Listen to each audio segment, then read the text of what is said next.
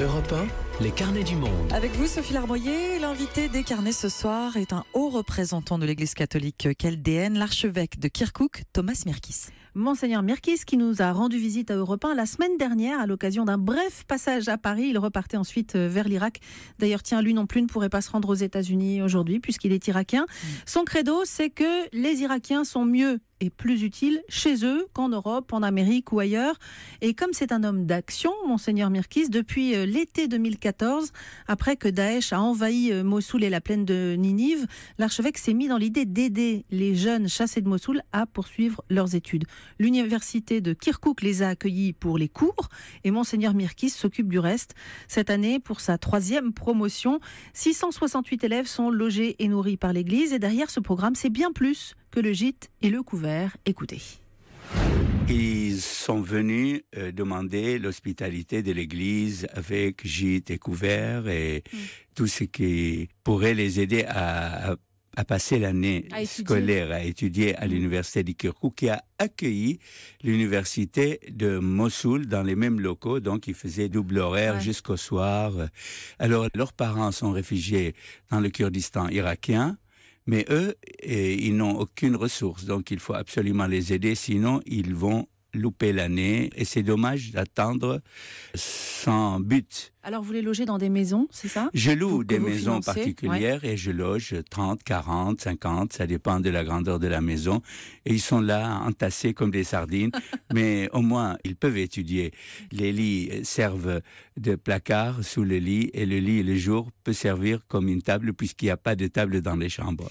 Quand vous dites les étudiants, c'est bien tous les étudiants, hein, quelle que soit leur confession, leur, leurs origines. C'est un point très important de ce programme. Oui, c'est très important que notre hospitalité ne soit pas sélective.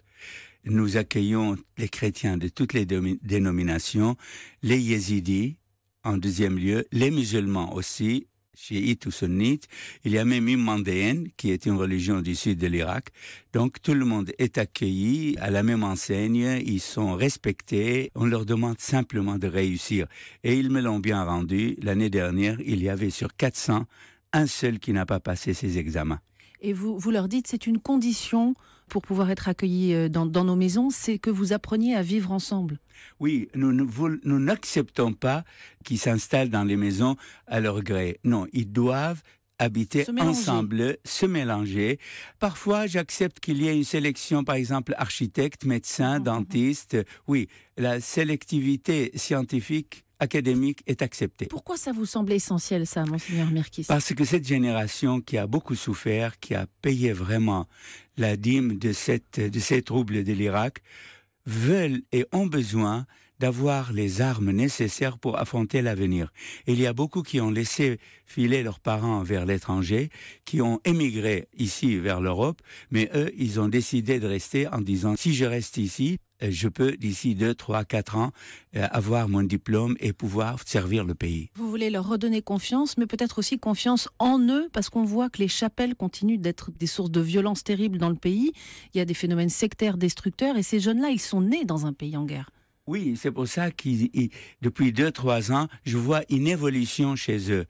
Ils ont appris comment vivre ensemble et comment dépasser tous les clivages sociaux qui sont des maladies des générations de leurs aînés. C'est, vraiment les hirondelles qui, qui annoncent le printemps de l'Irak. Et en même temps, il ne faut pas être naïf. Euh, L'État islamique, Daesh, ne sera pas vaincu euh, par euh, la fac, sera, vécu, sera vaincu aussi par les armes. Vous êtes un pragmatique, vous, monseigneur Oui, je crois que les armes, je fais confiance à toutes les armées, l'armée irakienne, les peshmerga, les milices. D'ailleurs, d'une certaine façon, pour une chose malheur et bon, ça a uni l'Irak contre un seul ennemi et j'espère que l'avenir euh, profitera de cette unité pour chasser un fléau très grave. Euh, ce fléau du sectarisme, euh, les problèmes identitaires sont partout dans la planète, mais chez nous, c'est vraiment devenu un concentré de maladies identitaires. Vous dites, il y a la justice internationale qui est indispensable, et puis il y a le pardon qui est une couleuvre qu'il faut avaler pour s'en sortir. Oui, absolument Je comprends que le pardon soit difficile, surtout pour les yézidis qui sont la communauté qui a souffert le plus. Il paraît qu'il y a 2800 femmes esclaves maintenant euh, entre les mains de Daesh et, les hommes et les frères et les familles de ces femmes ont été massacrés. Donc euh, quand c'est difficile d'entendre le c'est difficile d'entendre le mot pardon, mais je leur dis regardez l'Afrique du Sud par exemple, Nelson Mandela a sauvé ce pays en pratiquant ce pardon, lui qui a souffert dans son corps. Alors je prie pour qu'il y ait un Nelson Mandela irakien. Hmm. Dernière question, Monseigneur Mirkis. Ça coûte combien d'aider un étudiant irakien? Ça me coûte 7 euros par jour, tout compris. Donc 200 euros par mois, on peut aider un garçon ou une fille qui mérite hmm. d'être aidé. 2000 euros pour chaque garçon ou chaque fille euh, suffisent pour toute l'année scolaire. Au passage, il y a beaucoup de filles dans vos étudiants. Hein La majorité sont des filles. 356 sont des filles et les autres sont des garçons. Merci beaucoup, Monseigneur, Monseigneur Mirkis. Merci. Merci, je vous en prie.